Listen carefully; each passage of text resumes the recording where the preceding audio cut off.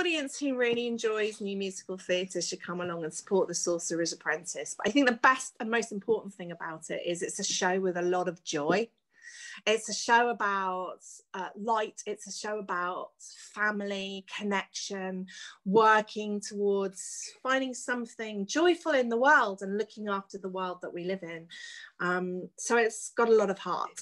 There are so many moments in The Sorcerer's Apprentice that I absolutely love. Uh, I think doing a, play about the sorcerer's apprentice you've got to fall in love with those brooms coming to life. I mean it's a wonderful moment. It's been beautifully choreographed and beautifully put together by the team.